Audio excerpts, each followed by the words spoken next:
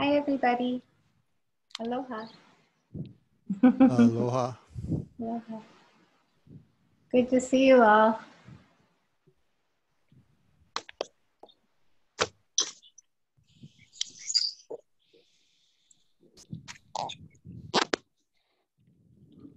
Hmm.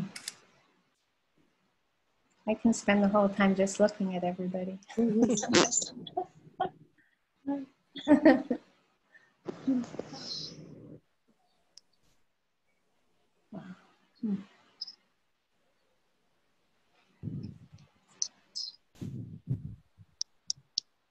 Beautiful.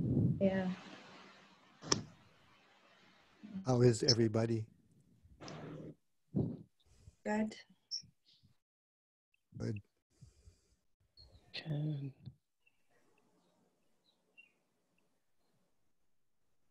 Great. Wow. Well, welcome, welcome everyone.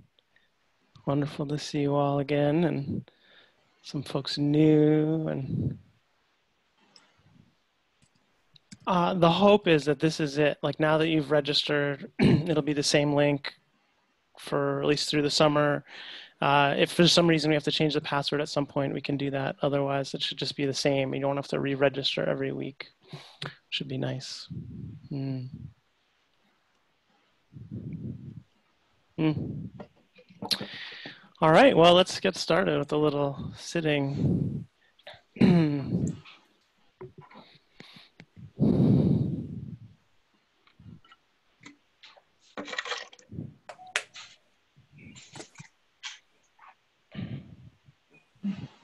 We'll start to mute. And maybe just that reminder of you should be muted as you enter, but we'll mute you. Um,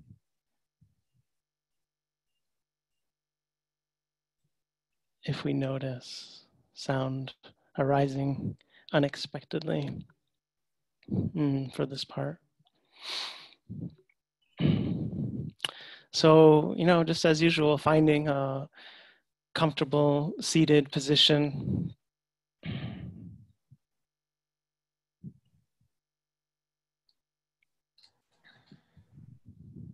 Some kind of balance between that relaxation and alertness,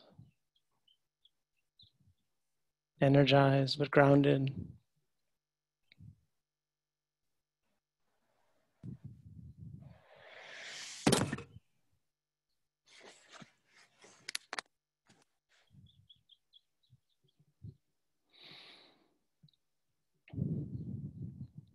And I, I, think sometimes it can be helpful just to not just remember, but also experiment with the, in some ways, most basic aspects of the practice. As you're seated here with your eyes closed.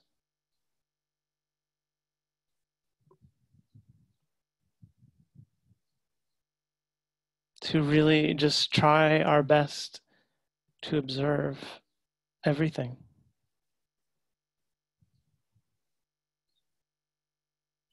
To remember that before we apply method or technique or these different tools or strategies or frameworks, the bare simplicity of the practice and the ultimate promise of the practice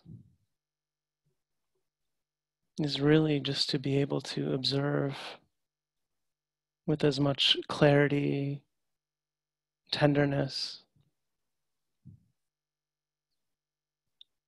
all the phenomena that are arising and passing in our six sense door field of being.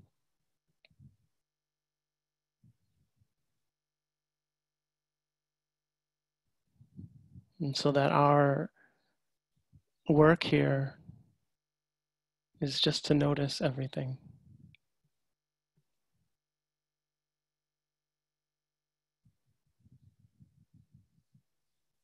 To note sounds as they arise and pass.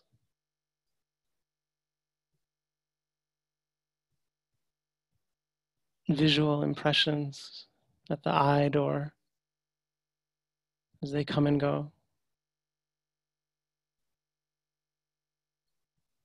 Smells and tastes.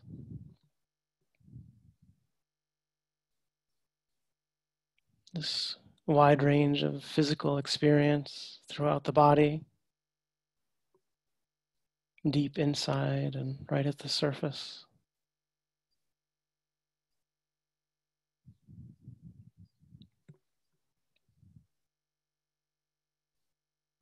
And all of the conjurings of the mind, thoughts and emotions.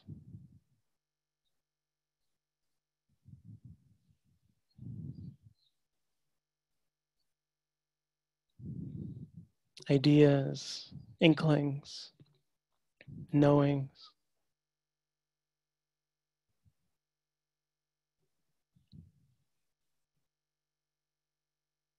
As we sit here and simply try to attune the attention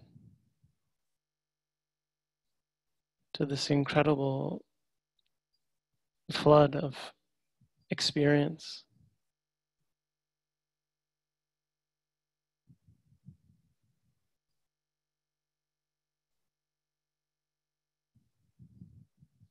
We can get a sense that the mind really can be aware of it all.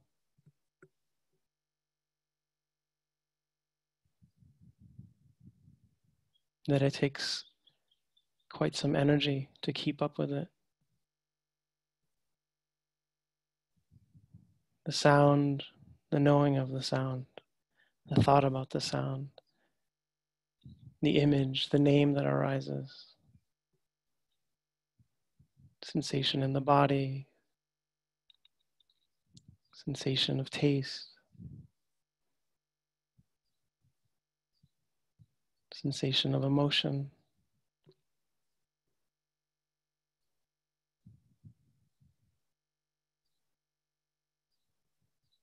All of these phenomena can be known. The knowing can be known.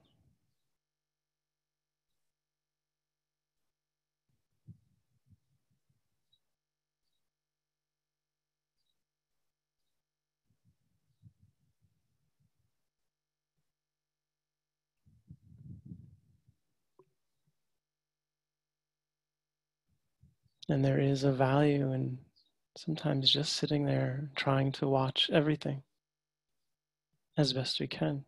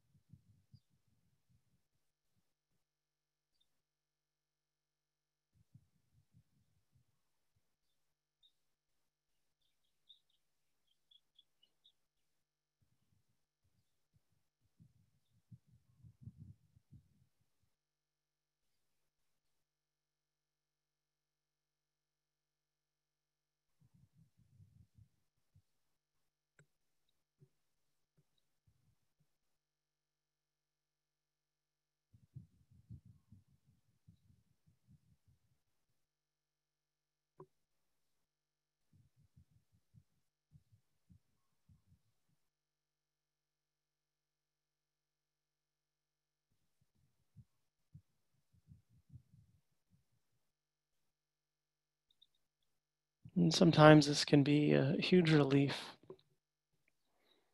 Can get us a little out of the sense that we're trying to do something, build something, control something in our practice. Don't need to actually do anything.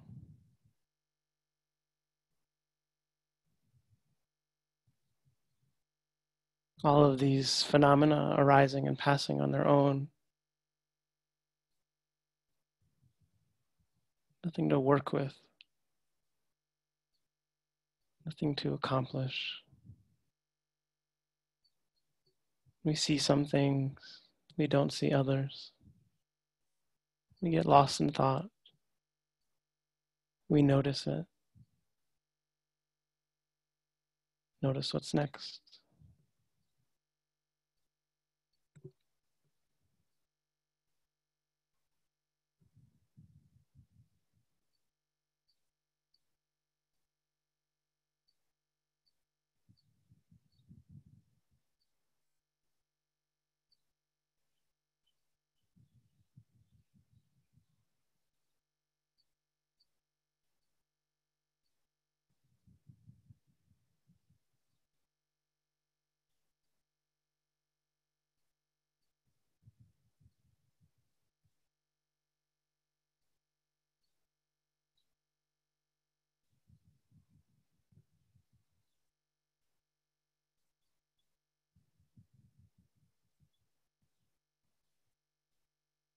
Of course, we do start to realize how overwhelming this flood of experience can be, how hard it is to keep up with all this coming and going.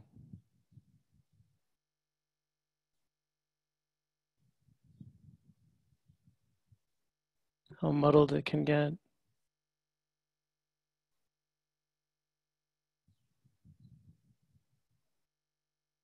Without any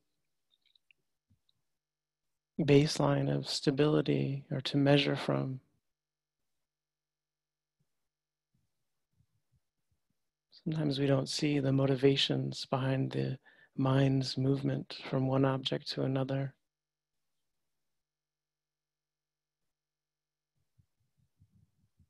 We don't see the assumption of self as a platform of our observation.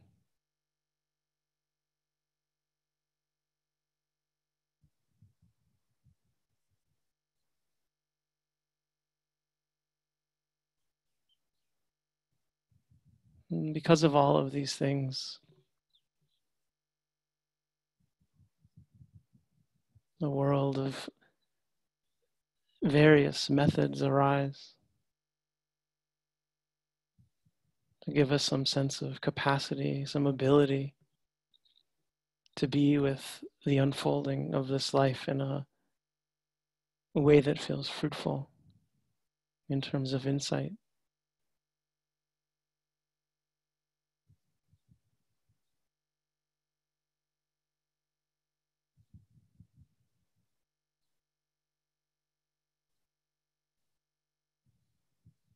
And so while we can simply sit here and observe the firing off of all of these experiences, one after the other, at all of the sense doors.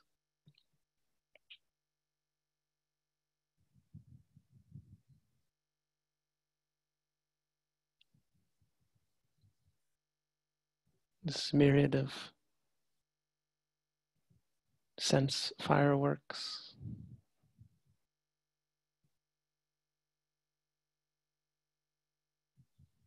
We also start to recognize the value of narrowing the field of attention to one part of these six streams.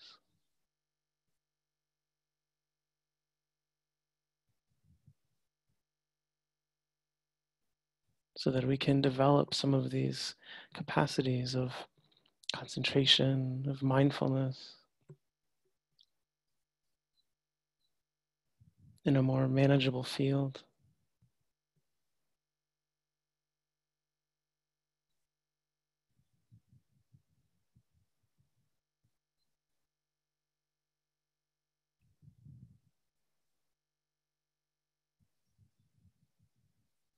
So while we generally offer a range of anchors, today maybe I'll just encourage the exploration of this movement from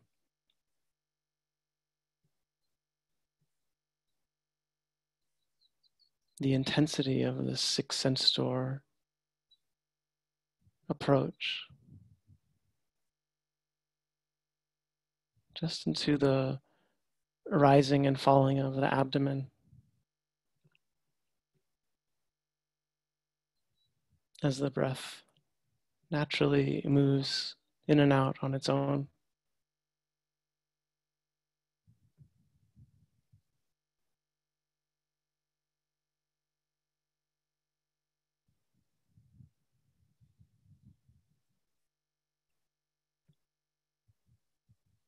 And so while we're not shutting off all of these other streams of experience,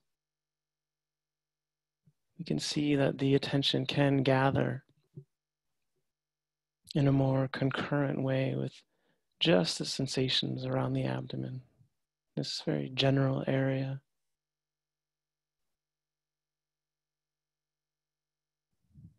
Increasing pressure or decreasing pressure.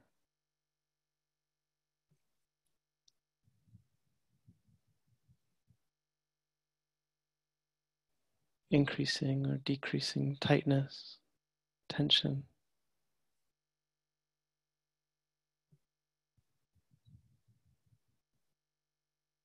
Hardness, softness, motion, stillness.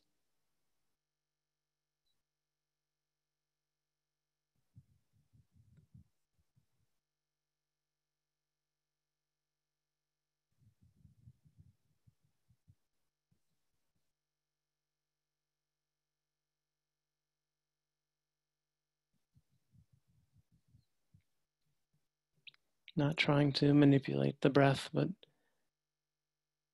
simply trying our best to gently but firmly keep the attention concurrent with the present moment experience of the breath.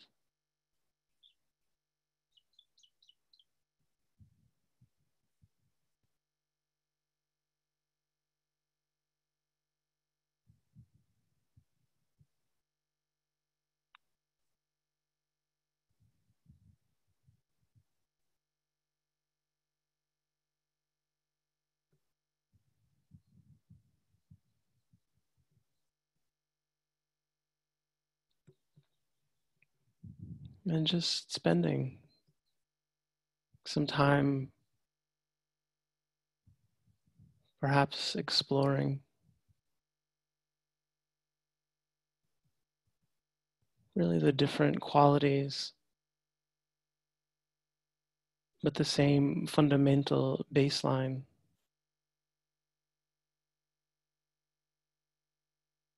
Between the experience of really staying with this anchor of the rising and falling of the breath. Non conceptual, direct.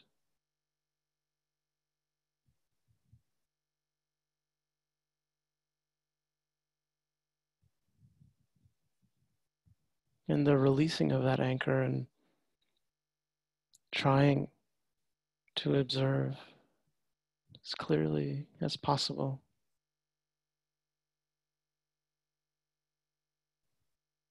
This wild interplay of the senses, the knowing of what's happening.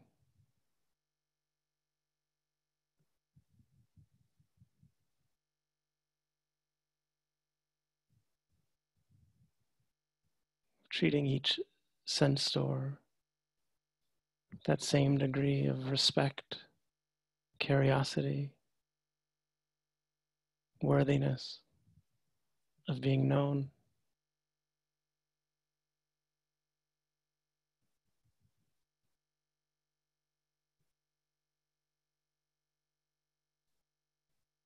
And then what it feels like to move back into relationship with this narrower field of attention in the anchor.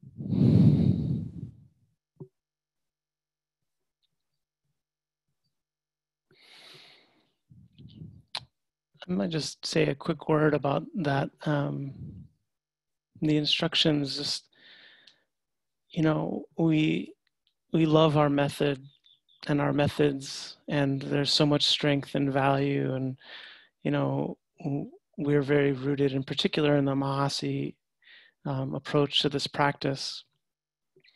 And I think it's always just important to see where any method can have its shadows and um, start to make us feel sometimes that we don't um,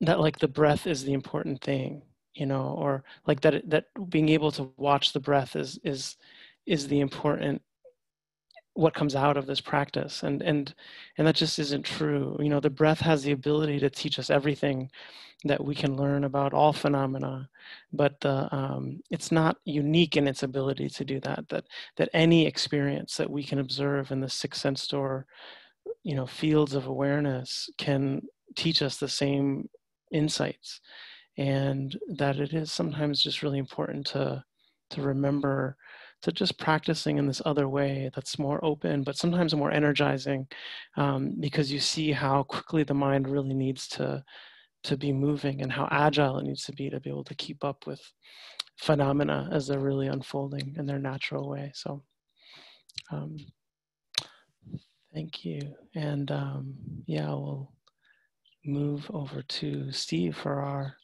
uh, talk today. Let me change my visual thing here. Let's see. Steve, I'll unmute you. Pin your video.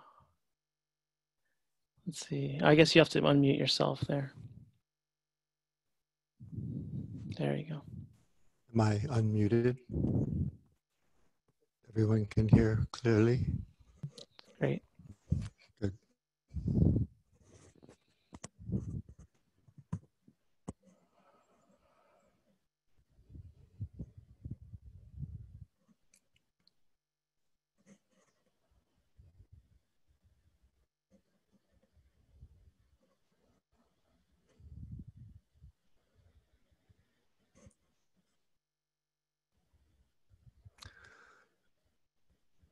I, I went to I went to bed around nine o'clock last night. Um, I, I, I never really know what to expect at full moon time, uh, but that's not quite accurate. I do know what to expect at full moon time. Uh, my mom and I were alike in that way. Um, lack of ability to fall asleep or easily awaken. Uh, so finally, I got out of bed at three o'clock and walked outside, uh, looked up, moon overhead, bending toward the sea. And there's a wall um, at the place where I'm staying with a night blooming cereus growing on it. Uh, and at my mom and dad's house in Honolulu, they had a wall. Uh, one of her very, very favorite plants was a night blooming cereus that, that grew on that wall. And one of her favorite things was uh, if Michelle and I were home in the summer, this time, July, but mostly August, her, her, her species of night blooming cereus bloomed once a year with the full moon. So we'd come over and have dinner and then go down and sit as the moon would rise over um, Koko Crater uh, in East Honolulu, and then just cross over uh, Maunalua Bay between Koko Crater, Koko Head in East Honolulu, and Diamond Head, more down close to town, Waikiki. Uh, and it would just, you know, arc across the sea. And as the, the moon would shine, making shimmering silver paths on the sea, uh, right up to our eye door. And leading on from what Jesse just said, even as I'm talking, maybe choose one of the sensitivities. Doesn't matter. One of the six sensitivities, as Jesse said, they're all equally significant, important, and doorways, portals to awakening. Uh, the five physical senses and the mind door uh, of emotions and um, mental formations. So as I'm talking, just see if you can anchor in the eye sensitivity, the ear sensitivity, because the sound of my voice or whatever sounds are around you. Um, fragrance, sensitivity, flavor, sensitivity, and then you know the body sensitivity that's continuously uh, in contact with the stream of elemental phenomena the textures, temperatures, vibrations, movement, uh, firmness, support, fluidity, cohesion, heat, coolness, and so forth from, from the elemental nature that is the body. The activities of, of earth element, textures, water element, cohesion, fluidity, fire element, heat and coolness, air element, support, firmness, and oscillation, movement, vibration. To see what is available uh, and see if you can simultaneously anchor to one of these sensitivities, even as you're listening. And the talk today is, well, it's about listening. It's about empathy.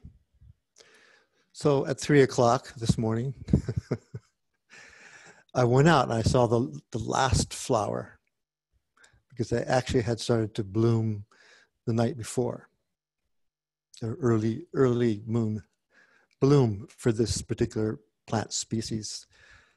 Uh, when we went to my parents' house, uh, her species seemed to like August full moon. So it would rise and arc across Maunalua Bay with that shimmering pathway that moved across between the Koko Head range of mountains toward Diamond Head. And as it would do so, dozens of these night blooming cereus would respond from the moonlight by opening.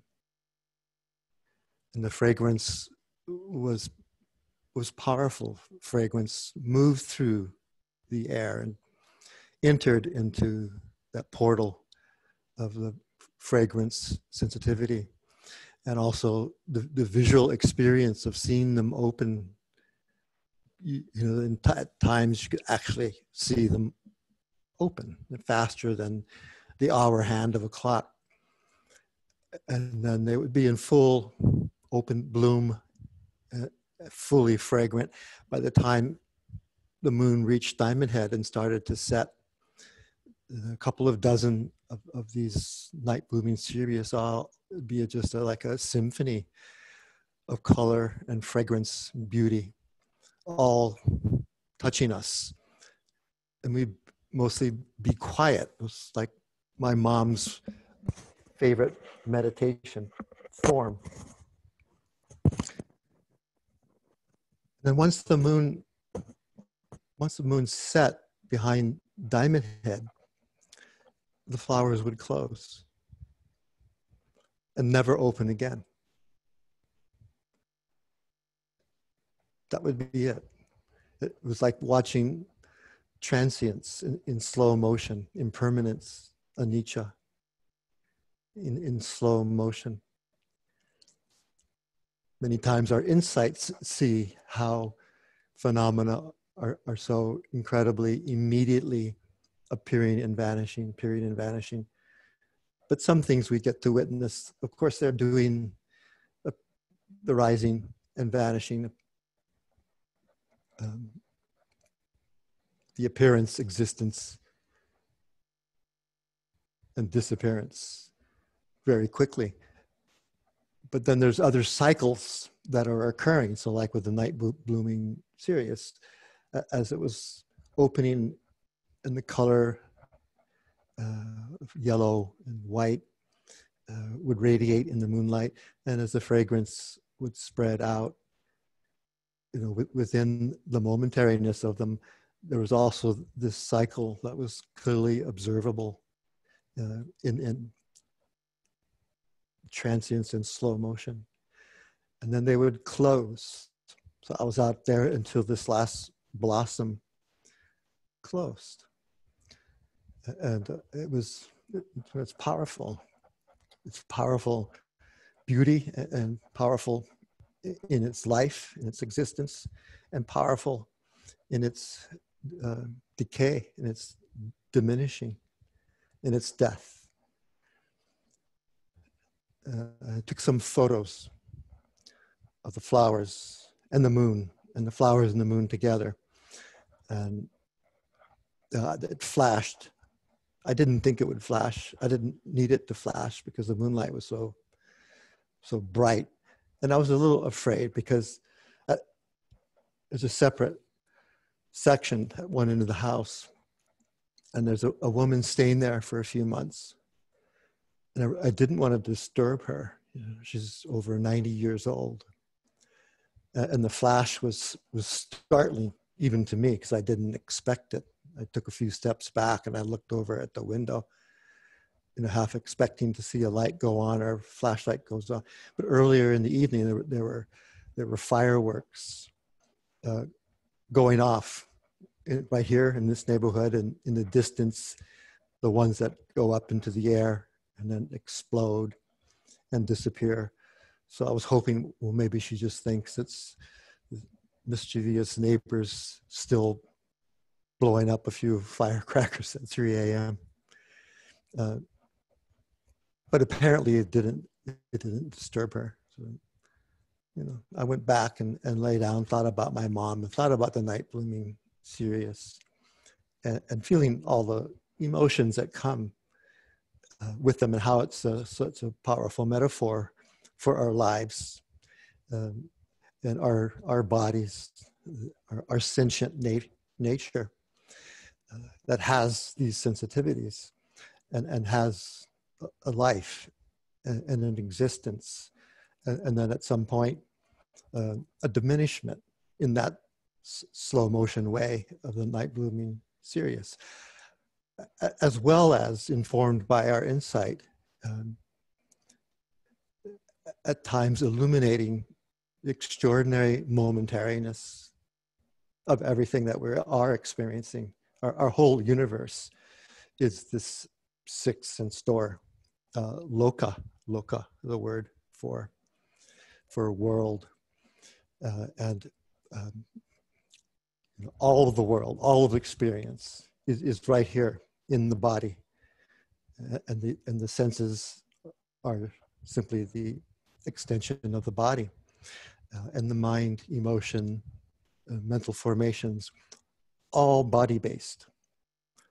Uh, there's never a reason to look outside of the body when we're meditating.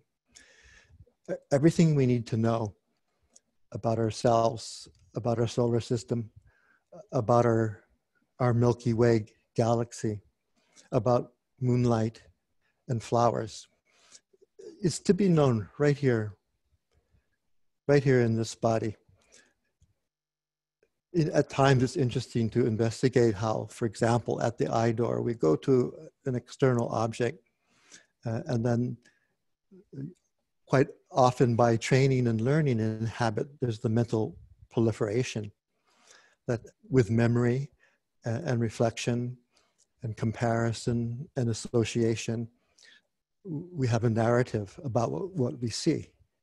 The night blooming cereus, for example, or, the sea, or this person or that person, and so forth. Um, if we bring our attention and turn it inwards, there begins to be the understanding that what is actually happening is light is entering the body. In, in the moment that light has contact with the receptor, the inner sensitivity at the eye door, in that moment there's seeing consciousness. And at that moment, it's not involved with uh, proliferation embellishment like naming oh the night blooming cereus my mom's favorite flower and the and the full moon flower and that it only blooms once a year you know it's life and death it's simply in that moment of insight awareness it's simply understanding the phenomena the mystery the miracle of sight and visual experience is occurring because of causes and conditions. Light touches the inner sensitivity in that moment. Seeing consciousness is happening. So we could say we do six sense door awareness. We could also say we do six consciousnesses awareness. Uh, because there's only consciousness when there's conditions of contact. Sound vibration, which is air and earth element primarily, and the inner receptivity of the ear door, the moment of contact, the seeing consciousness.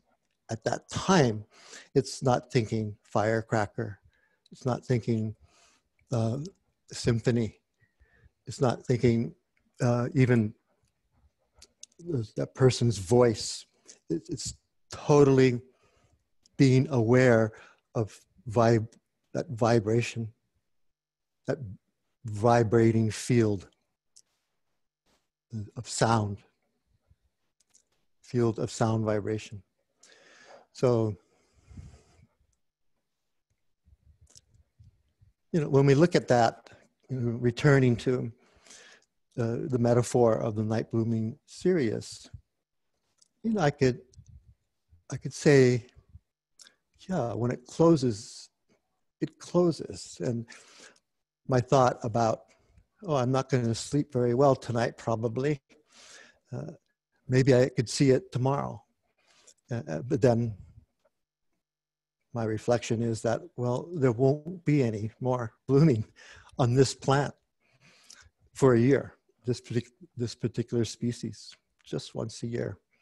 So there can be a melancholy, there can be a sadness, can, uh, and then taking that same metaphor in, into our life you know how, how do we hold that kind of uh, phenomena that when the conditions are no longer there the, the phenomena pass away vanish disappear uh, not to return no to sensations alike no to um, emotions alike. This is the emotion uh, of fear, of desire, of courage, of generosity, love, hate, are all very quick moments. If the conditions are there, they keep arising fast enough that it feels like the same, the exact same emotion continuing, the fear or the courage, the love or the anger. But it's, but it's not. So a similar moment of going in uh, to that receptor place in our heart that receives the emotion, that receives the thought formation, can feel that and, and realize, oh, it's just a fear moment. Not attach, not need, not need it to go away, not hold on to it. If it's a, a, a beautiful mind state, love, care, joy, uh, but understand the conditionality of it. That, that for a moment it touches, and if the condition if the conditions are there, it, uh, it, can keep arising moment to moment. So in practice, for example, we have those moments where where joy appears to be continuous because it's arising and passing so quickly. It seems to be one continuous stream rather than the, the discontinuous stream that it is. And we can abide in it.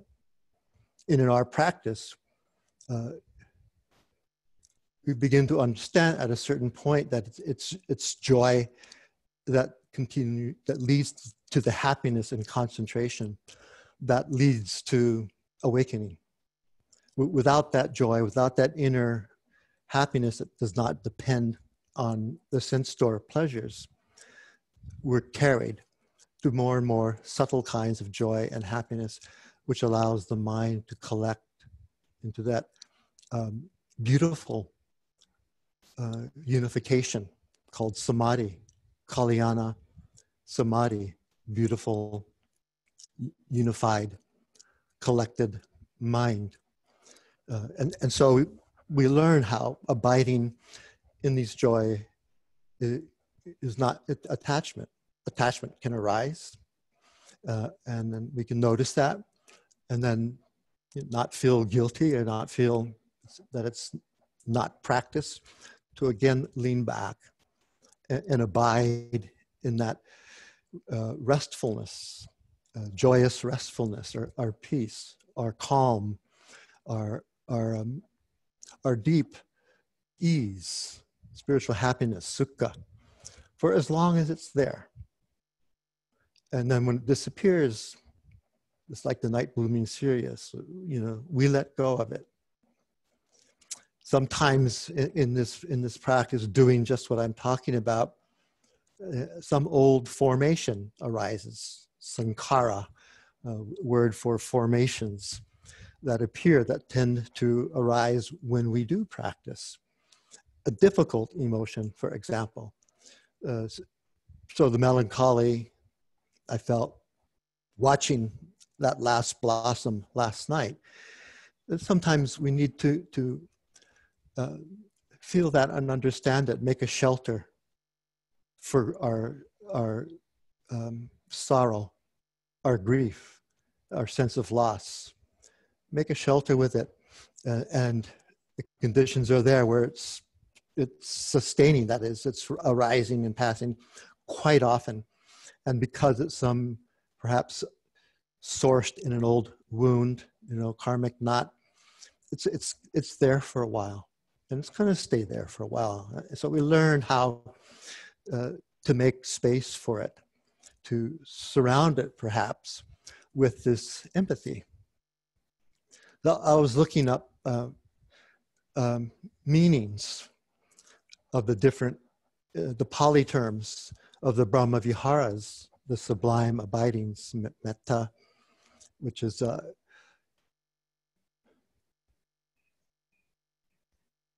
that connecting friendliness uh, that can then bloom and mature into that boundless, universal loving kindness without prejudice, without bias, without discrimination.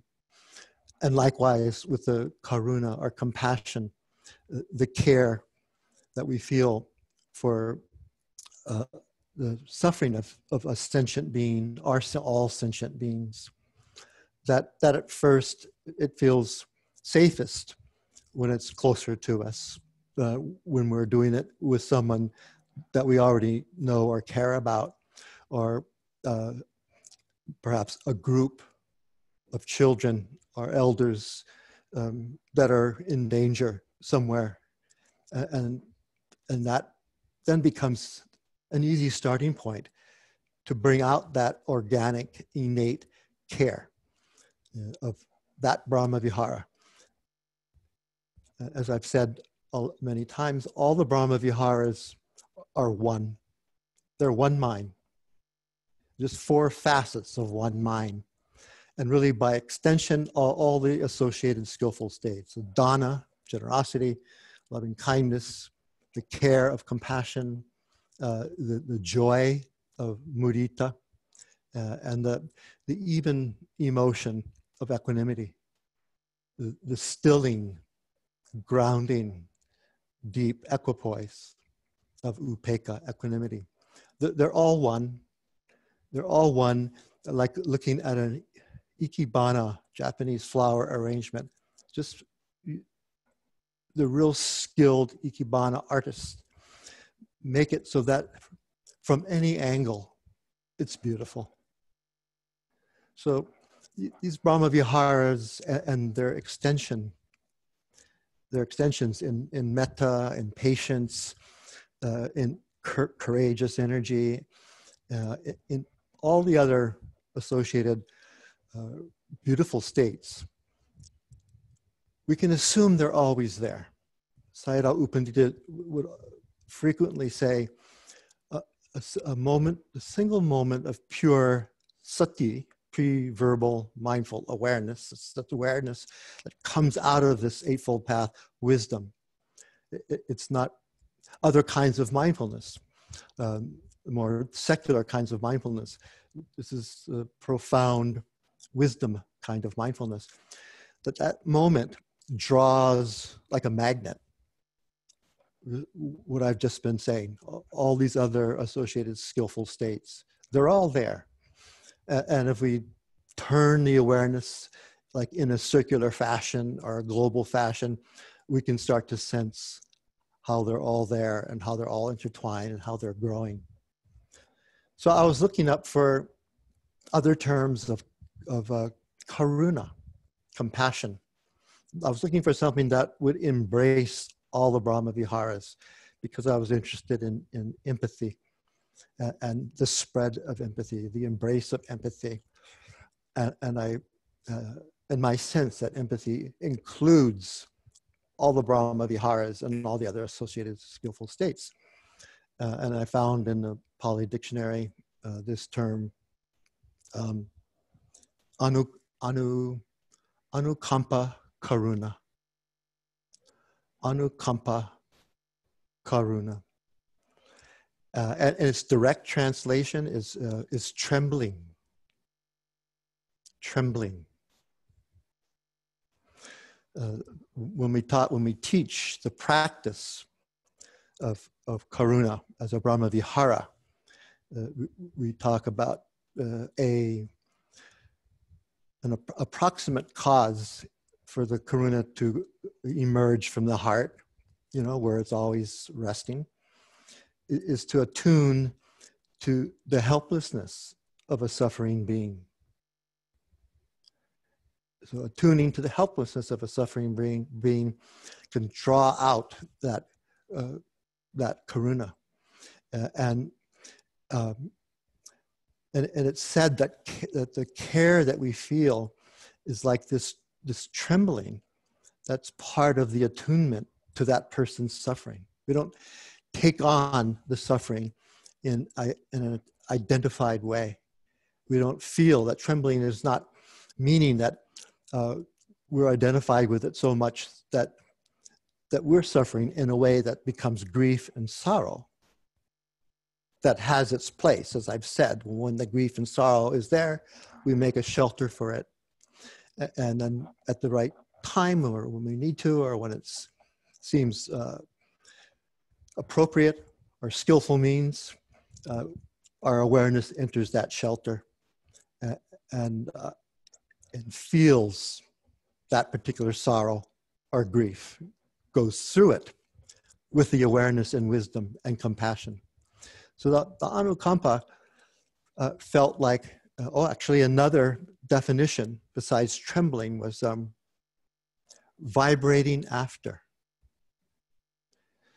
Like when we ring a bell and we hear the initial vibration of the gong when the, when the striker hits the bell, and then the reverberation from it, the continuation of it. You know, so it's not like a moment of care and then perhaps we move on to something else. Rather, there's a, of the vibrating after as we can the continuing care moments appearing, another care moment appearing, another care moment appearing. And then because of the equanimity uh, as such a powerful ground and anchor, uh, we can sustain that care, which is always a pleasant feeling tone. Uh, and uh, because of that wisdom and equanimity, it doesn't slide in, into the near enemy of, of, grief or sorrow or pity. Uh, and we're able to sustain an enlarged mind and heart to act on that care, to make a difference if we can, with just our presence, sometimes our silence, our kind words, or some action that we take to alleviate the person's pain or for that person to feel our attunement to them, our, our trembling, our vibrating after, that, that the care is real and, uh, and a stable stream, a sustaining stream. So the first person continues to feel cared for, e- even if their, their, their suffering goes on and goes on. Uh, uh, an, an ailment or a trauma that is constant, constant in their lives. Uh, so too, this anukampa karuna uh, continues to embrace and hold that person's pain, that being's pain, wh- whatever sentient being it is. If we have, if we have pets, we have kitties or cats or dogs or puppies, you know, we have the same feeling for them, and it's easy, really easy to use them as a compassion subject when we're practicing compassion, or a mudita, empathetic joy, when we're practicing mudita, when they're happy and playful and they're bringing us joy and they're happy to see us. Nothing like coming home, you know, and, and your pet is really happy to happy you're there. Uh, and my dog, uh, my youth, my childhood and youth dog, uh, you know, learned to smile. And so I'd, I'd come in and, and Benji actually would make a smile, you know, wag his tail and smile at me. Uh, and others and others as well.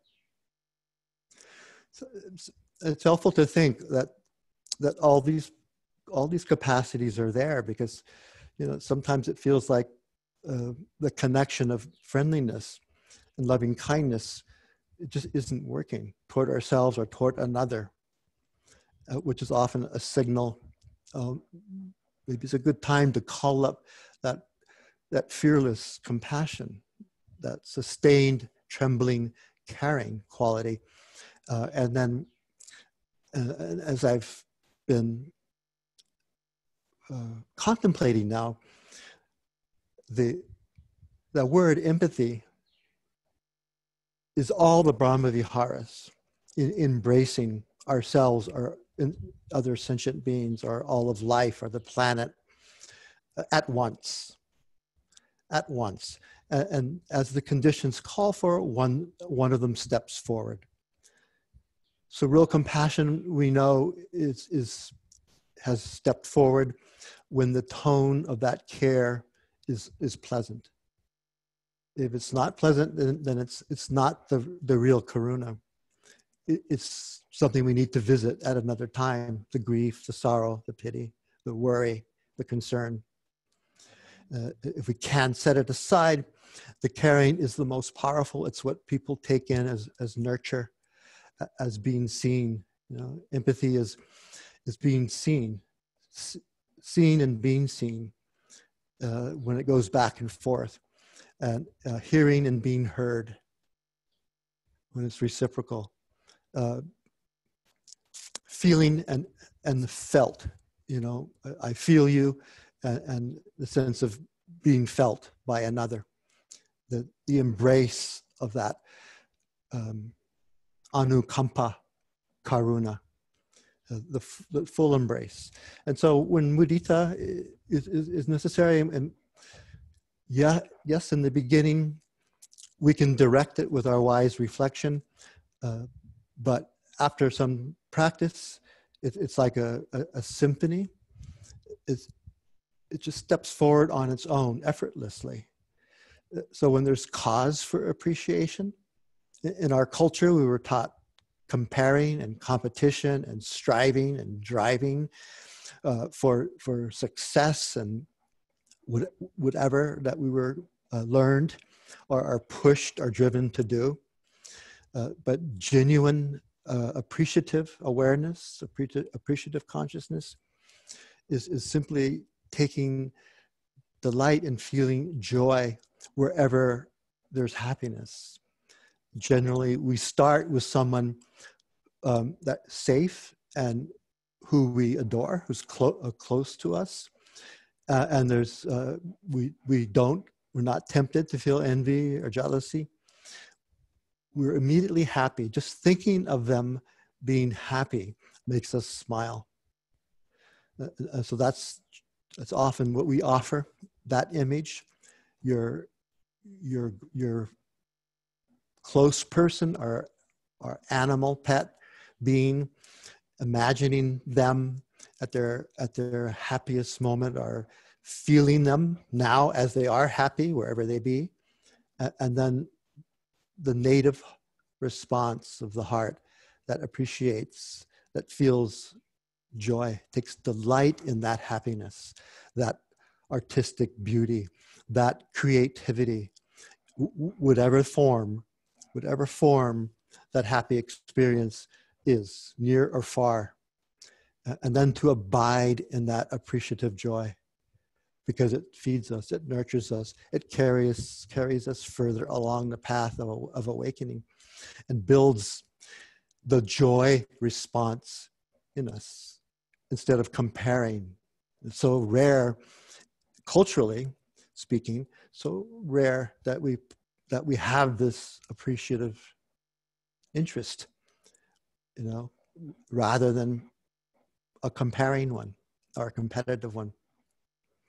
And then this anukampa, empathy that trembles and continue, continues to vibrate after, includes the emotion of equanimity, upekkha, which means to look upon or to look over, the sense of looking upon life, our own, uh, our friends, our community, uh, all sentient life, all beings, the planet, the solar system, the galaxy, to, to look upon as opposed to looking away.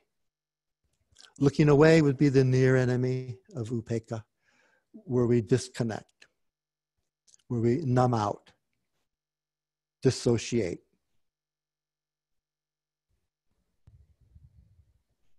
Sometimes that is our defense to go numb, to disconnect to disassociate, uh, to be indifferent.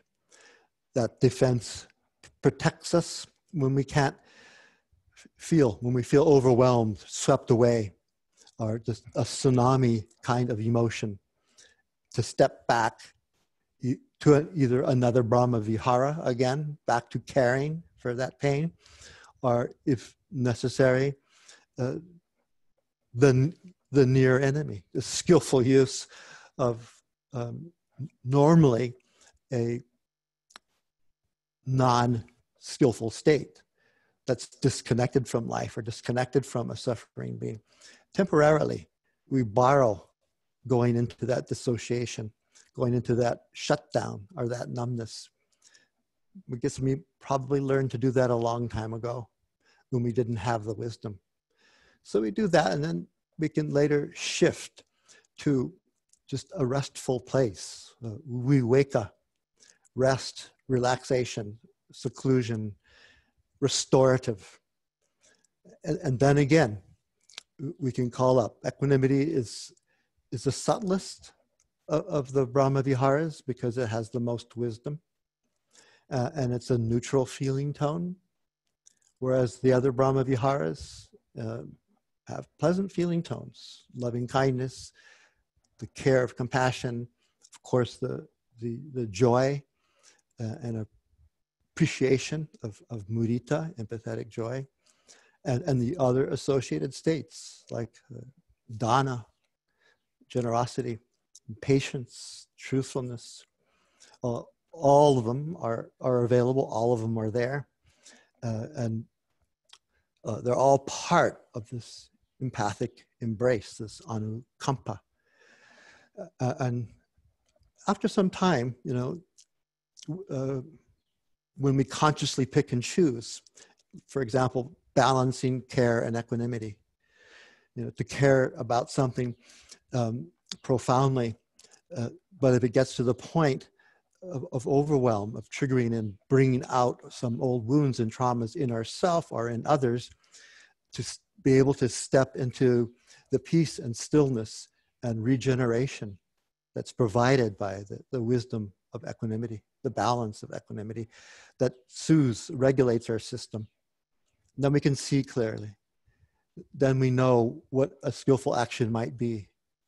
Often doing nothing, uh, but abiding in care, or abiding in appreciation, or abiding in friendly connection.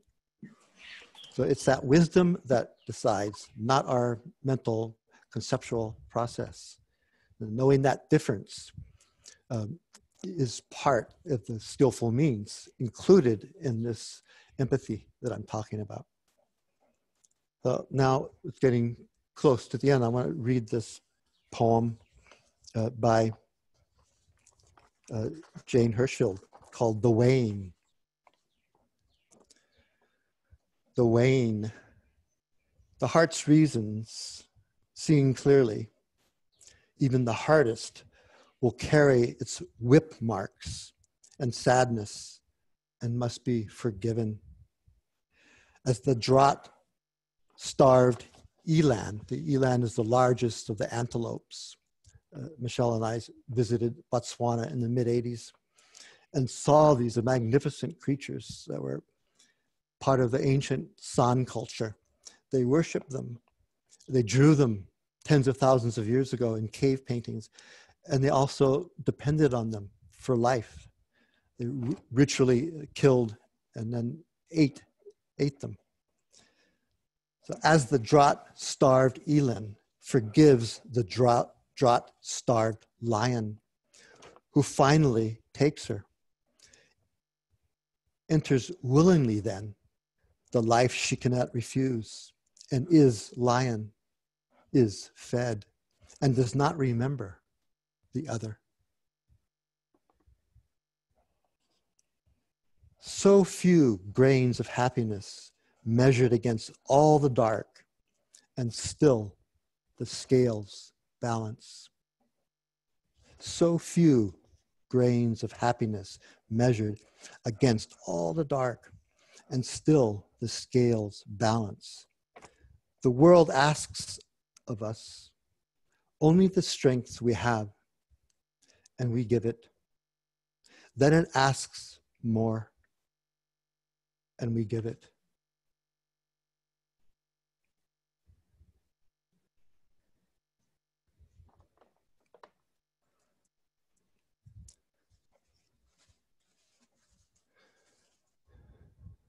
That poem for me is this like um, the Anukampa. It's so empathic, uh, seeing seen life and death as it is. Uh, there's a moment they say I learned from a tracker in, when we were in Botswana.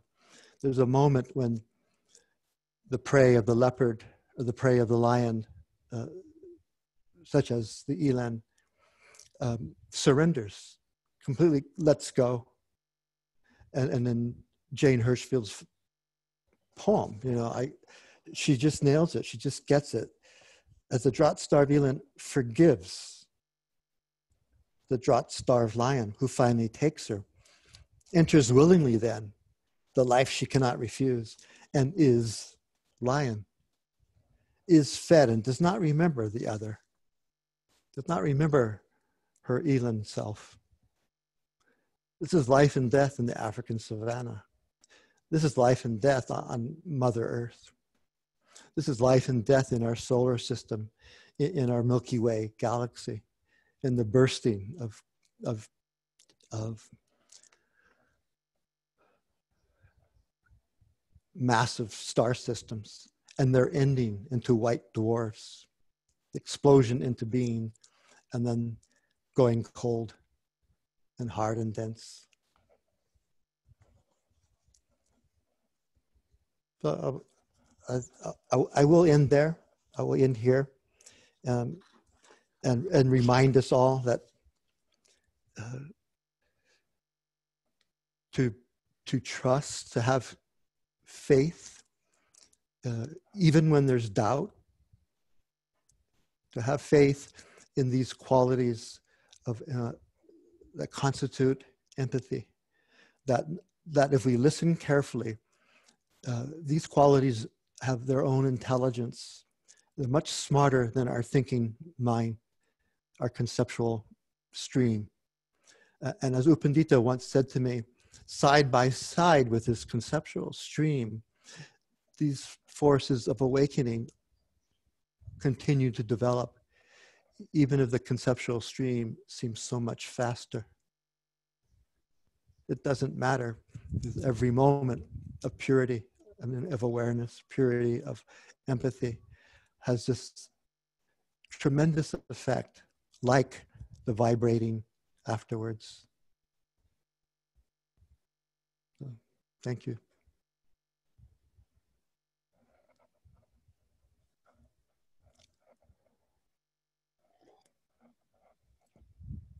Can't hear it unless you unmute, Michelle.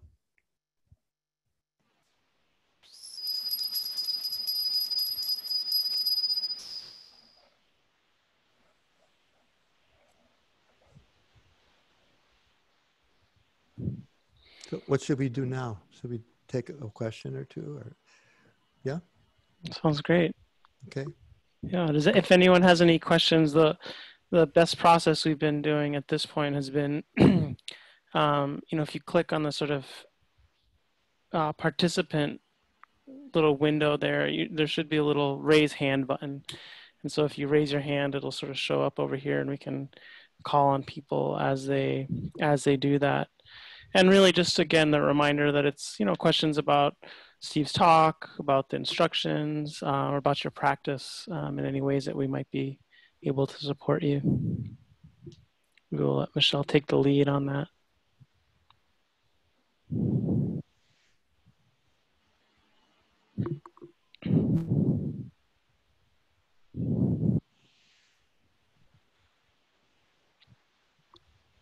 Okay, it looks like Sun.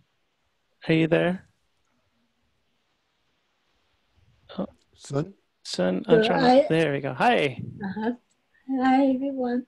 So, my question is like, wisdom is all in the four Brahma, Brahma Viharas, right?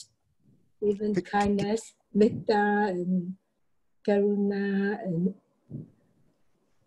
they're all what? Sun? Yeah. What about them? They all um, have wisdom in yes. all of them. There, there's wisdom to all of them. There's degrees of wisdom to all of them, especially when we bring the vipassana awareness to feel them, to, to really understand. When, when we do that, then the metta grows and becomes more pure, and the compassion does the same, and the joy, empathetic joy, does the same another way. I think languaging is um, interesting. It's like when we use the word kindness or love for metta, the um, assumption is that it's kindness infused with wisdom. It's like it's not. It's it's meant to be inextricably infused, or like the compassion that the attention connects with compassion, but that that compassion is infused with wisdom, etc. That you connect with joy and it's confused with wisdom. That's how you prevent them becoming aversion or attachment. It's like there's the understanding with the kindness. So you're not trying to control with love, or you're not trying to um, get rid of pain in the world, or you're not trying to uh, make joy like pleasure stay. Um, so there's this, when you try to explain what these mean, we have to always start there. So yes, it, it, there's that sense that each Brahma Vihara, the de- by definition, is in, is infused with wisdom. Which is why we teach them together, Be- because it's possible to practice the Brahma Viharas uh, w- without the wisdom, and then identify with them uh, as, as my boundless love or, or my care and compassion, my joy, my equanimity. Uh, that, that was actually happening at the time of the Buddha, that the Brahma Viharas were already being practiced. But as, as concentration practices and practitioners or, or leaders and teachers would then uh, identify with those very subtle states and they would feel that, that it was there was under their control and they were identified uh, and then the power the gravity the magnetism of such powerful qualities as the brahma viharas could be misused. So the buddha brought them in in service of wisdom and and we follow that tradition. We bring them in as vipassana brahma viharas for example. So it's love that loves, you know, it's metta that mettas. It, it's, it's, it's uh, karuna that karunas, care that cares, not I, not me, not mine. Equanimity, balance that balances, not I'm balanced. I have this balanced, peaceful, wide heart and mind. That clear, Sun? Yeah. Yes. Let's see if uh, even in the Metta Sutta at the end it says that if one's practiced metta, it will, you know, and achieve it, one will not be reborn again in this world. So that's that is insight to liberation described in the sutta, right? Yes, I've heard that.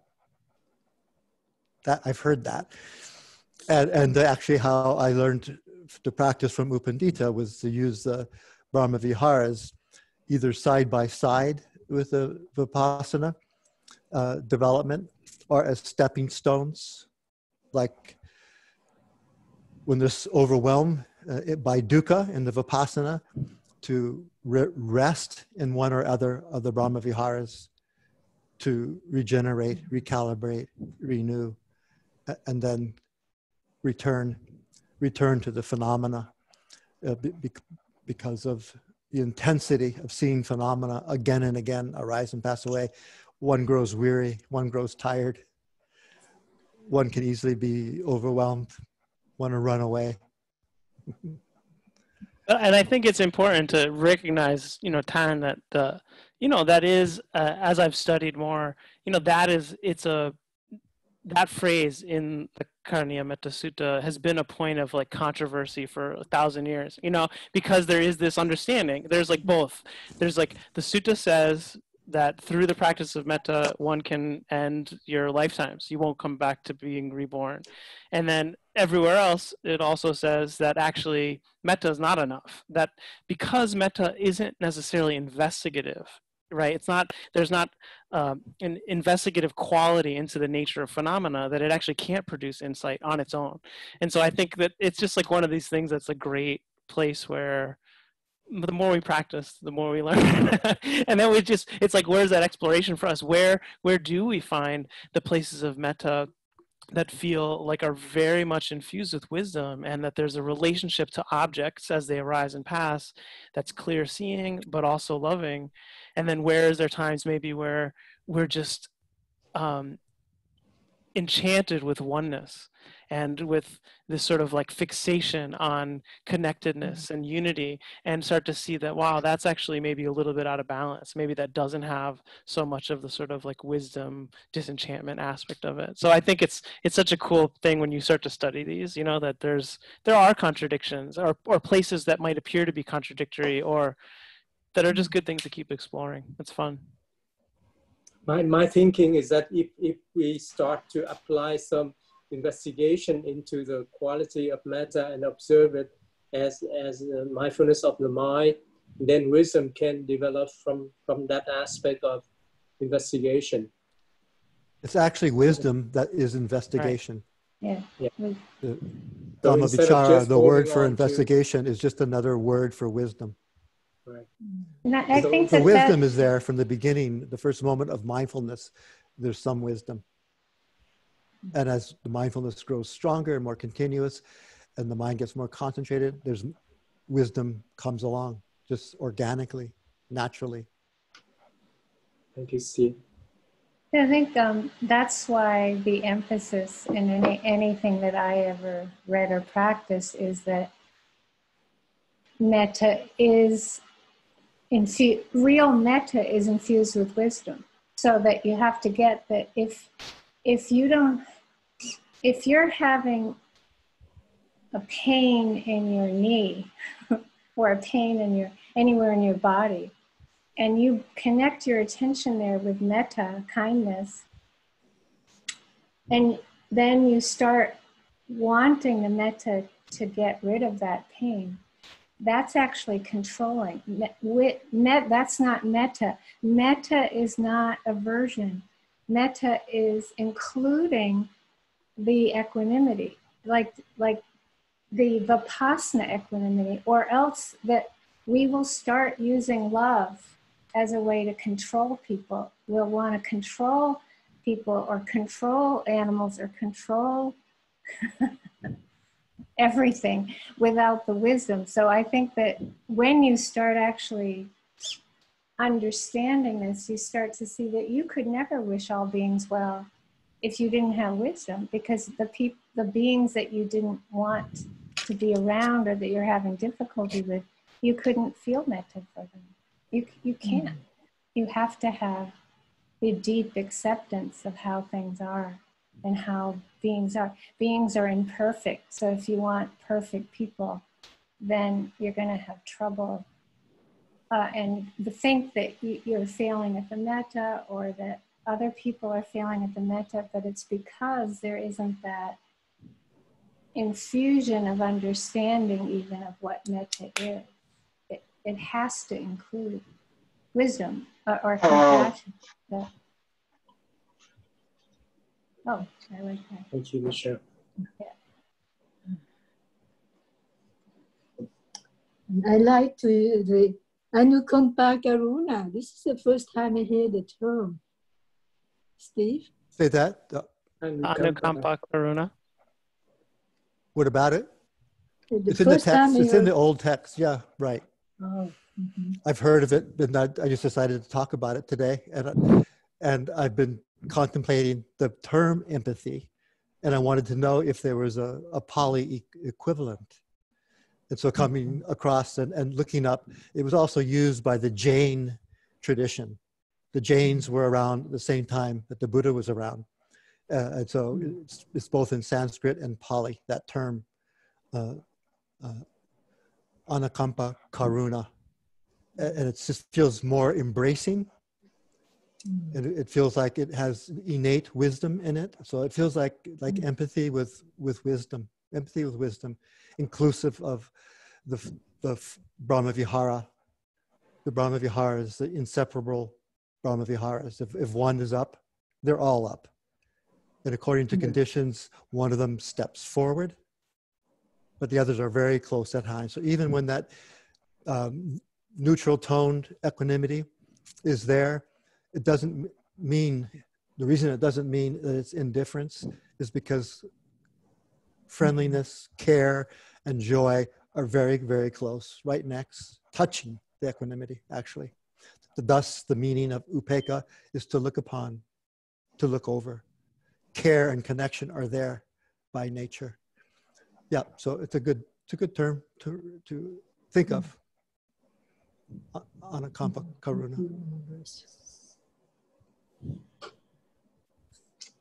So, final question uh, regarding the Brahma Viharas. So we can direct the, the practice one way or the other, right? If we just keep holding on to the feeling of Brahma Viharas to concentrate the mind, that we would lean toward the, the concentration practice. But we stop holding on, but start opening to more investigation to understand its true nature, that would be more toward vipassana. Is that correct? I, ideally, the vipassana is traveling alongside all the time. That, that, that they're in, from the beginning, the Brahma Viharas are in service of wisdom. They're in support of wisdom. There, there is a, there is a, a, the Buddha also taught that you can, uh, that side by side with the seven factors of awakening, right? Mindfulness, investigation, energy, joy, and then calm, concentration, equanimity. Side by side, you can practice each Brahma Vihara, which infuses, empowers, develops, matures. It's like in the 10 paramis, the parami of, of metta is what catalyzes and unifies the paramis. So in the so we want wisdom always to be there. We want to always invite that that wisdom awareness so that there's no from the beginning there's an attitude of non-attachment non-identification. That it's the metta that mettas the compassion that cares. If, if if you're um, starting to Tom, if you're starting to get absorbed in the um, metta or compassion or mudita or upekkha brahma vihara, if there's a sense that you're getting absorbed, then the with the vipassana you do technically you do shift out of that absorption and you notice that disappear and then you you're starting to notice sound sight smells disappear you know coming and going. So technically if you're doing if you're con, if you're doing the the brahma vihara as a concentration you don't you don't have investigation happening. You don't have the seven factors happening. But the way we're offering this right now is without that absorption. We're just saying to see if you can um, if you notice metta come you don't you're mindful of the metta but you're not getting absorbed in it. You're still with the moment to moment experience with the kindness. It's a it's like an affectionate awareness with the moment to moment six sense door experience. I hope that's mm-hmm. yeah. I, I and it, if it I, is dropping into if it is dropping into absorption the,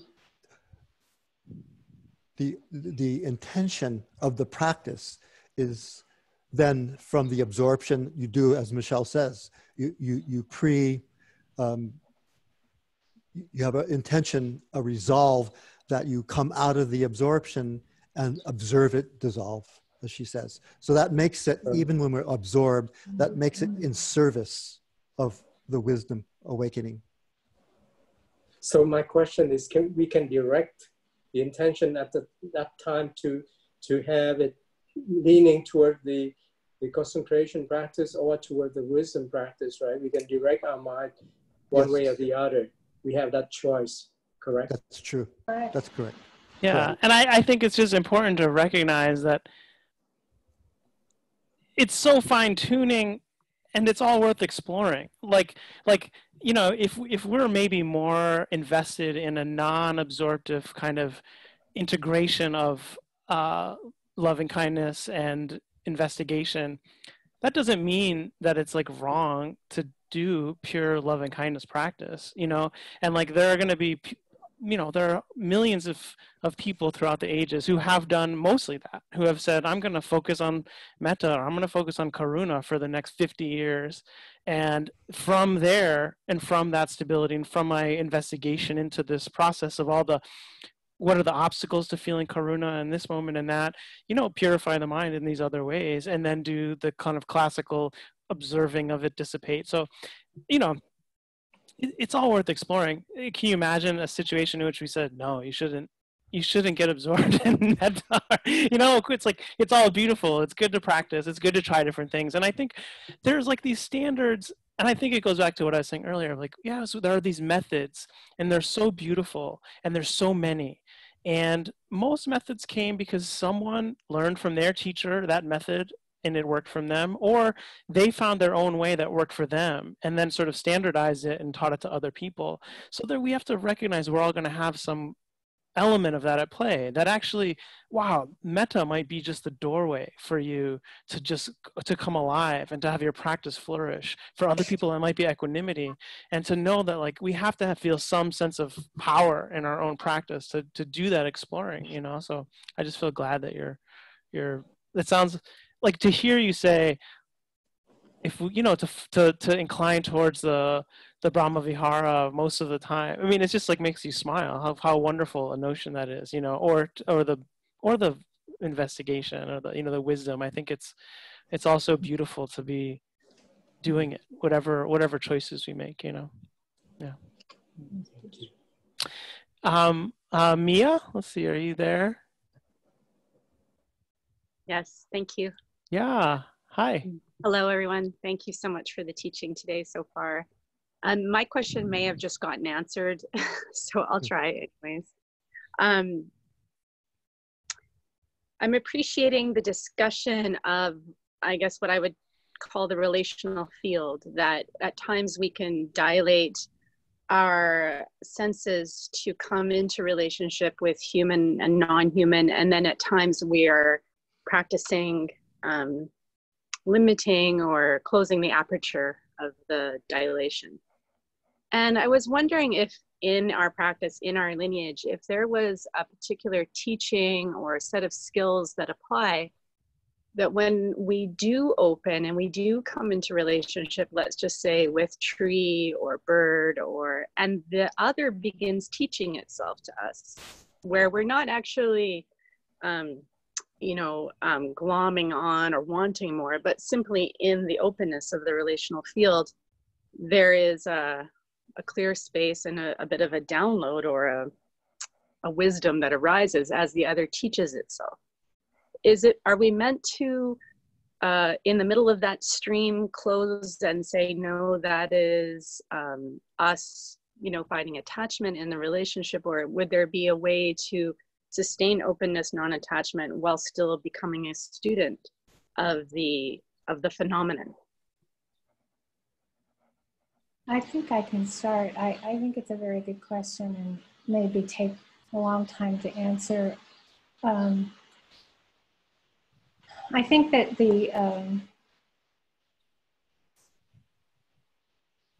the idea of this practice is that every moment becomes your teacher, like every sound, sight, smell, taste, touch, thought, emotion is is your teacher. Like that will be the great wisdom. And there'll be times when um,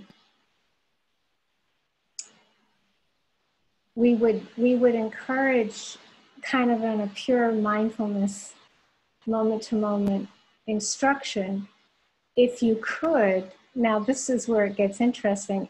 Uh, the question would be is that a non-conceptual experience like are is it is it are you receiving something non-conceptually or or is it becoming conceptual? And that would be an interesting place to investigate. Well what are we learning? Or or is it something deep, deeper like that non-conceptual receiving of, of a gift from sometimes we get these gifts from beings that make it worth living. You know we feel we feel connected right in a way that is so powerful and important and meaningful but in this practice we wouldn't um, necessarily um, as you say, the attachment to that can um, become visible and that we would want to repeat it again. That's how you'd see, right? You'd see like, um, and if you do, you just, you're with that, you'll see, oh, I did actually get attached to that. And it's that learning, it's just learning to be with how that all unfolds, to not, to not need, not to need that to happen again or ever, but usually that happens when we're not needing it to happen. So I don't know if I'm going in, you know, if there's a piece of what I said that you might have a response to, because it's um, an interesting question. The last few words of what you said didn't um, come across on my computer, anyways. You oh. said uh, we would be wondering um, if we ever wanted it to happen again, but then I didn't didn't hear the end of the sentence, which felt really significant. Yeah, I don't know if you're. It's.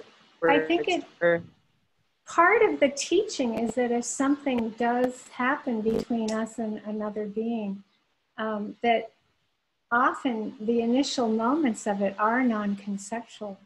We feel deeply connected, and it's in that deep connection that whatever we're receiving in terms of the teaching, it often comes that deeply. And then we might make it into something conceptual, but that's not the most important part. That's what I would say. But it's, it's usually that sense of um,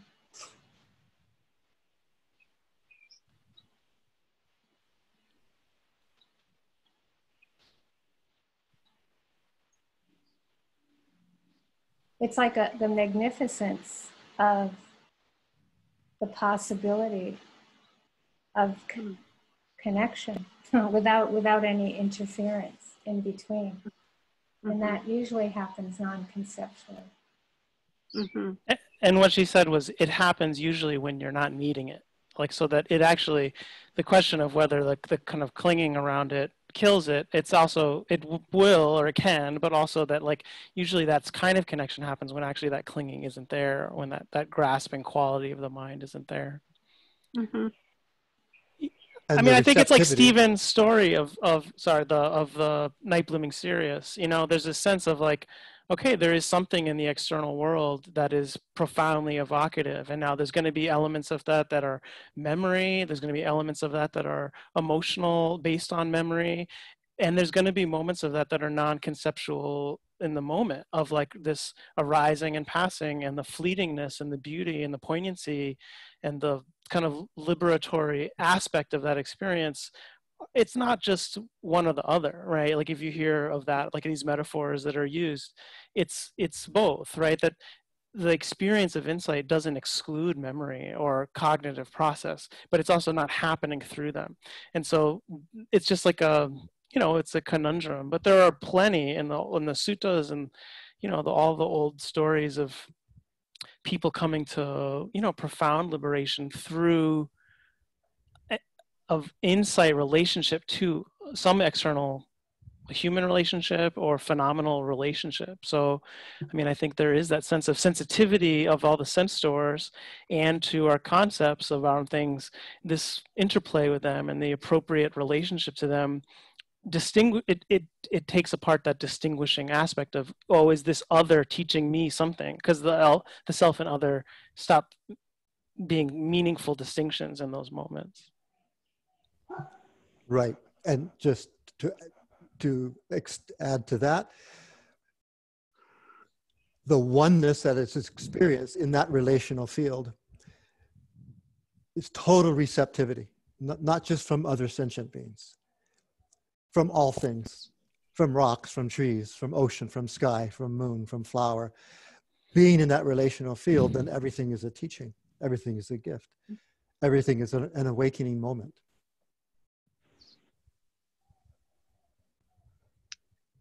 Yeah, I guess I'm appreciating the camera angles you're presenting, and I appreciate the discipline, Michelle, that you're suggesting, which is don't look for it again. It was a miracle. And both of you are saying, yeah, there's a relational field that is happening, and sometimes it's memory, and sometimes it's new, and who knows. I guess it begs the question um,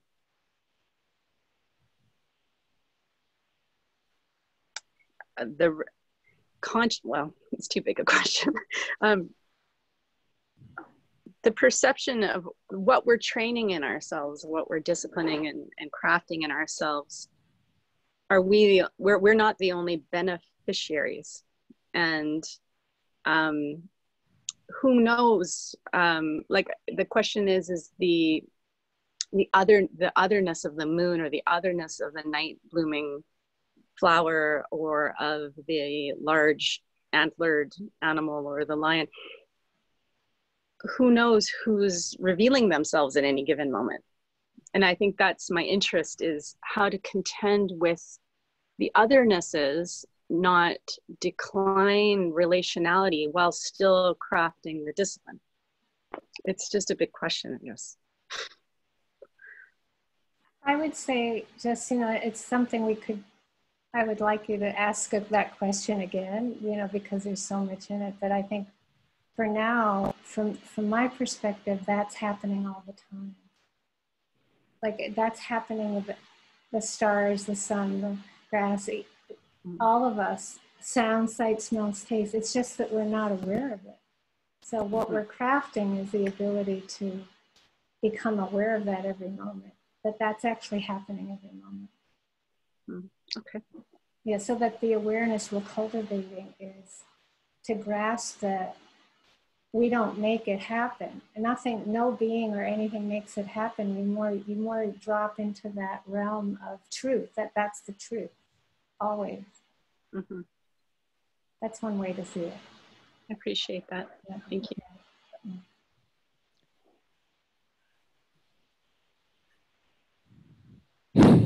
I feel like I have something quite to say, but it, you know, it's it's it is. It's, I think there's the level of just like where do you take where do we each take responsibility for our role in that also, where it's not just things revealing themselves to us, but where are we blessing the beings and the you know the refrigerator and the plants and the whatever? Like where do you take responsibility for that part of your the relational quality energetically? And none of it's going to be how what you think about it or how you're analyzing it or how it's you know how we make sense of it ultimately is you know there's a huge range of that. But the reality of like what's that experience in the mind in the heart in the body in all the senses of the kindness and the interest? And where do we lose that? Where do we gain it? And and ultimately we only have responsibility and only have any authority or power over our own volitional um, aspect of that.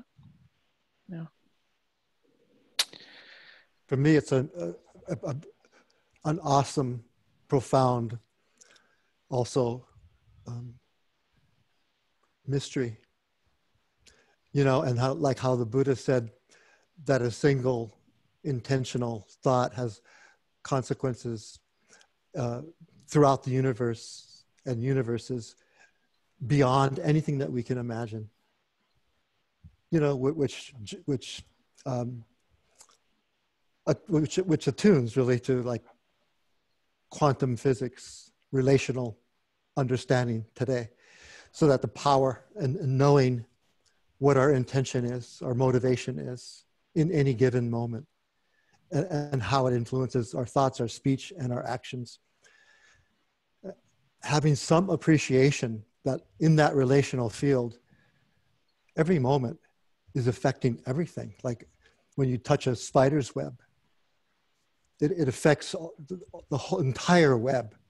And the spider's intelligence can read exactly, knows exactly what has touched it a leaf or an insect or something it wants or doesn't want. That, that kind of interconnectedness, I love that mystery and there's there's no conceptuality that can bring it into some focus with with words with conceptual words. But the felt sense of it through our practice is is quite profound especially in deep like in, in a deep concentration of a, of vipassana type of jhana where there is that sense of oneness and being a part of a relational field not controlling anything, not wanting or not wanting, the wanting and or not wanting, or as Jesse suggested, the sense of out there, in, in there, outside, inside, out there, in here, disappears. And, and yet, and yet, every moment, there's more knowing, there's more understanding, there's, there's more freedom, there's more sense of connectedness with everything, and the, and, and the emptiness of anyone controlling it.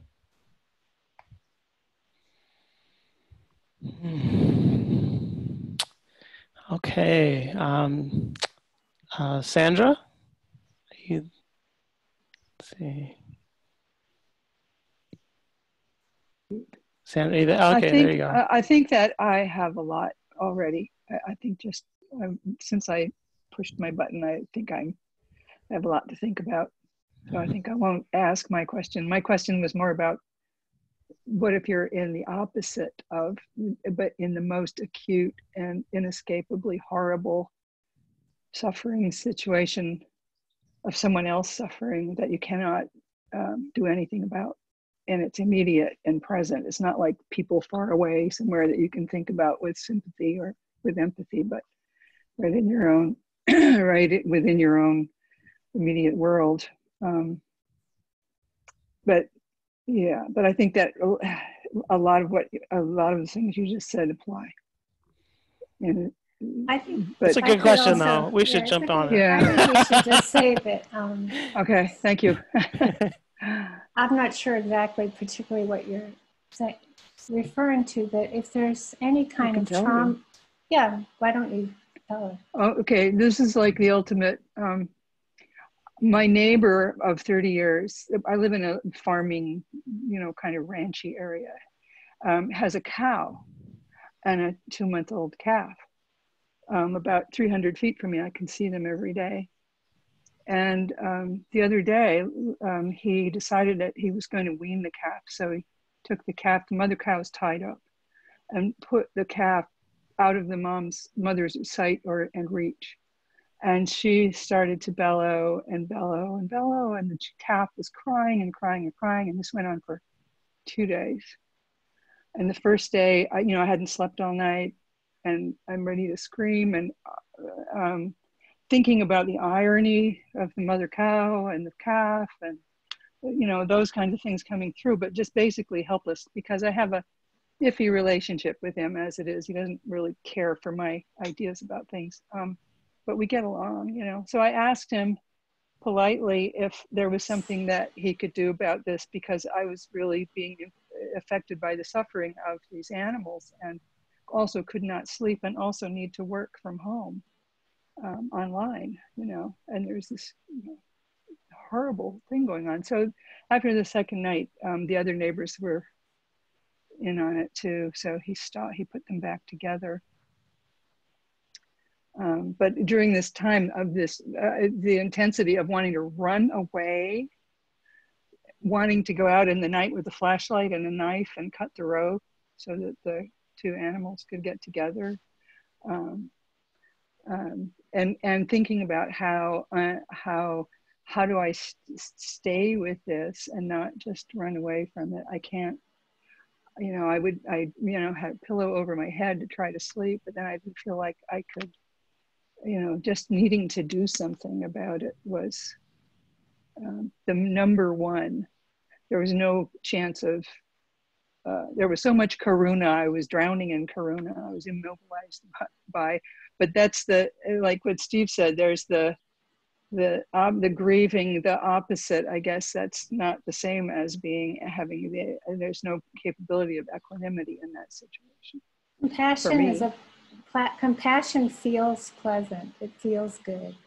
I know. Yeah. So, uh, but I think that I think you I'm did hearing really well. I think you and the neighbors did great. You, I mean, compassionate action. You took compassionate action, and I think Yeah. if you're referring to those two days, usually you just do the best you can. You know, I might at, at some point.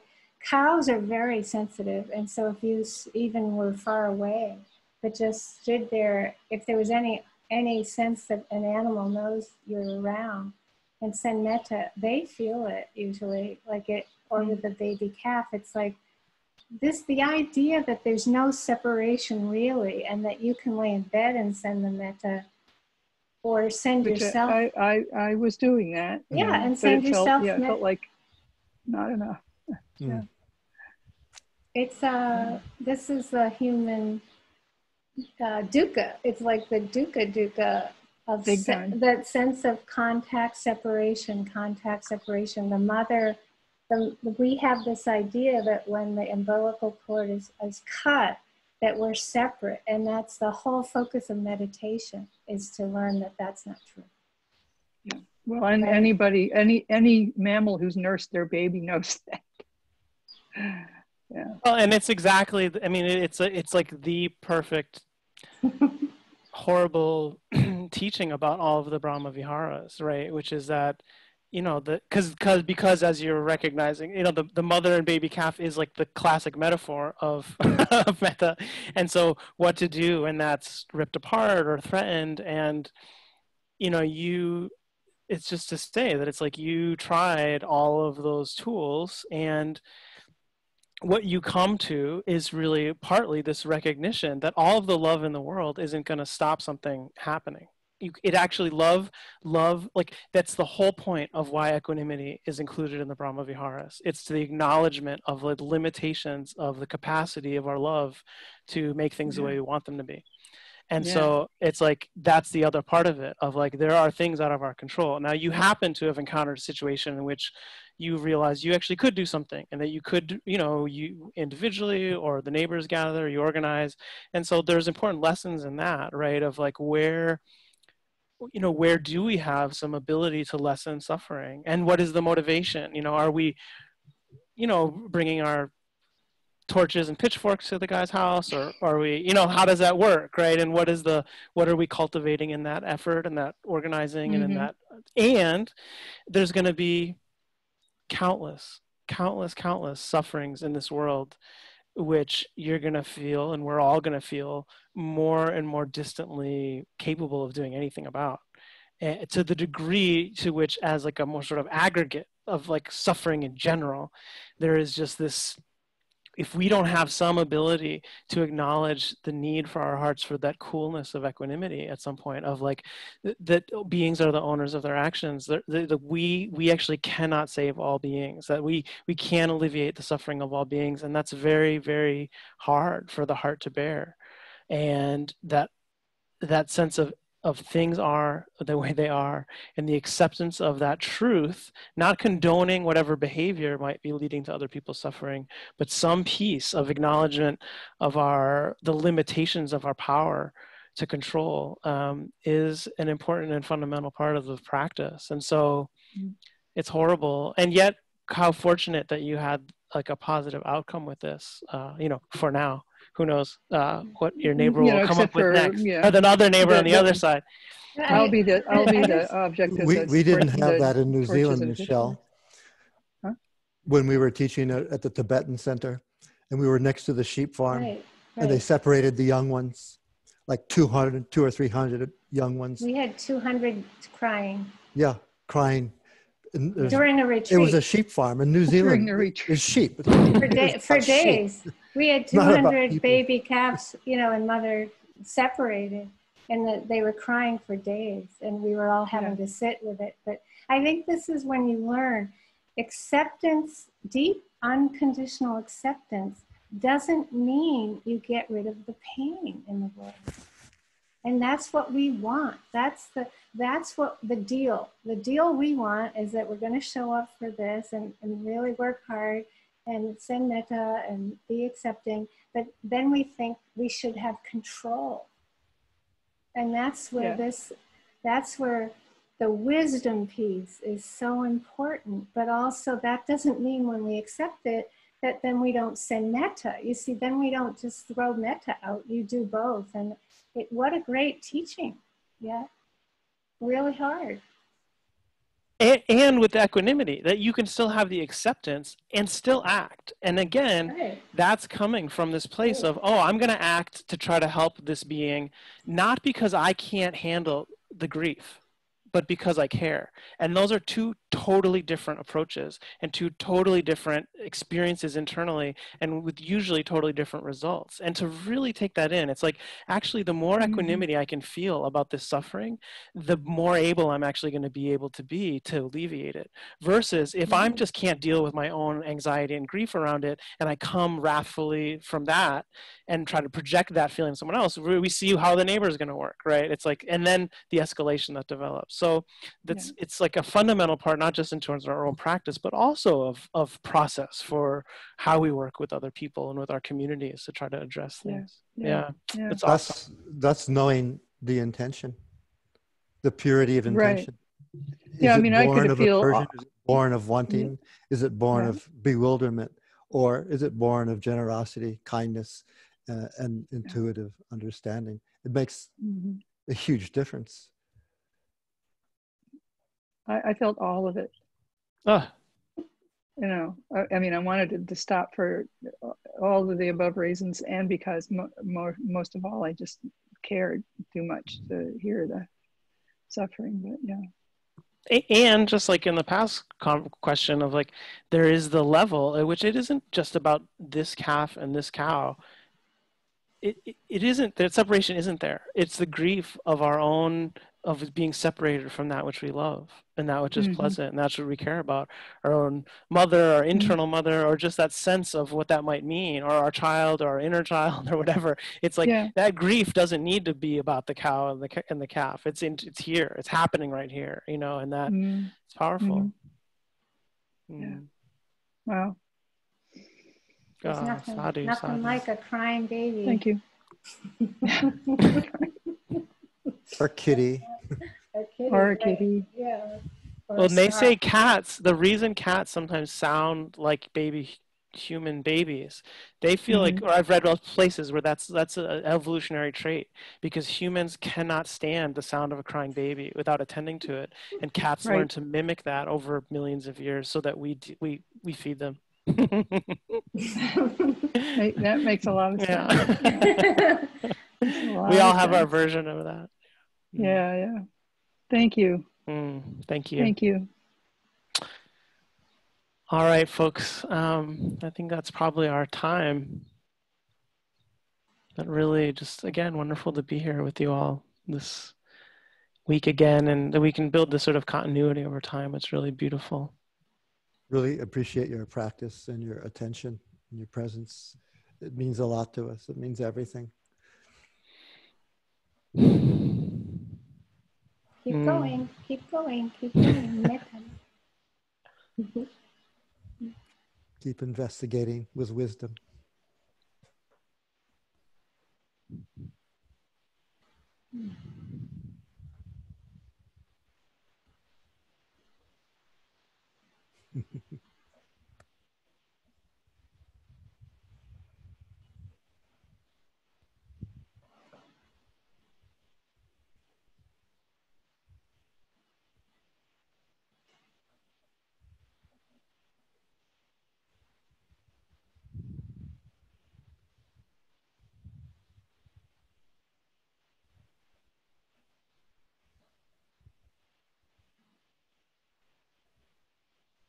Mm.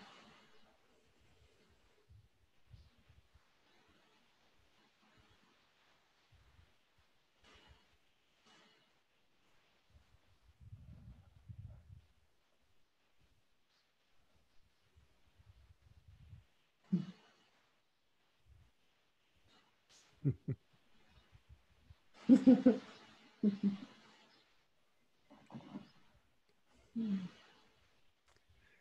This is such a different way of teaching, isn't it? yeah. It's amazing. And practicing. Oh.